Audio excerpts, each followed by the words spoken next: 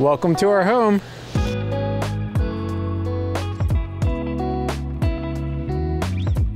So here's our Airstream International Signature. It's uh, 28 feet long. We purchased it actually as a family of two. Before we moved in, we found out we were gonna be a family of three.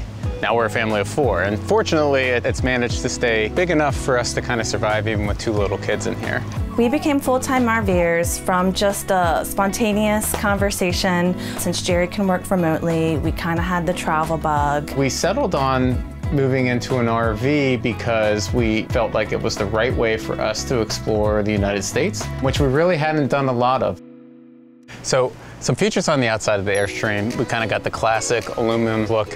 Here we've got an automatic sunshade that'll come out, close, provide some additional shade on hot days like this. On top, one of the key things that we did is we added 600 watts of solar panels up there. We found that as we were camping, we, we like to be off-grid a lot and have that flexibility to go where we wanted to go. So here we are in our kitchen, dining, and living area. On the couch area, there actually used to be storage back here um, that I took out so that we could then extend the bed back. It was only maybe like 12 inches, but because we've got the two kids now, Jamie and I actually use this as our bed.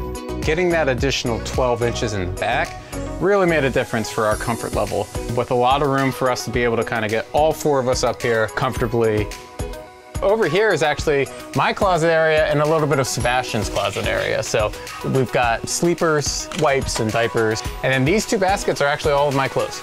Um, and that's one of the big adjustments you kind of have to make when you're moving from any kind of normal kind of living situation into a very small living space. The table setup that we had before was bench seating and it turned into a bed, which was really cool if you wanted to have guests over and sleep in a bed, but we decided a kitchen table would be a lot better. Now we can have meals with all four of us at the table comfortably and you know we tend to park the airstream in cool places a lot of times and so being able to kind of look out on a lake or a mountain or the forest wherever we might be staying really nice ambiance when you're having dinner over here, um, we've got our state tracker. Each one of these bottle caps is actually a state that we've been to, and it's a beer cap from a craft brewery in that state. Um, I think we're at 32 or 33 different bottle caps in there right now. Over here, we've got our kitchen area. We've got a fridge, freezer, good amount of size, three burner stovetop, and then a, a microwave slash convection oven. So we can actually still kind of do baking as we need to. We've got a pantry area up here, not a ton of room, so that means maybe a few extra trips to the grocery store during the week. As we move back to the back room here, this was actually a queen size bed. When we had Juliet, we quickly realized we needed a play area, but we also needed separate sleeping areas reducing the size of the bed to kind of this day bed size. Now gives us a pretty big play area for Juliet to come back here. She can play with her toys.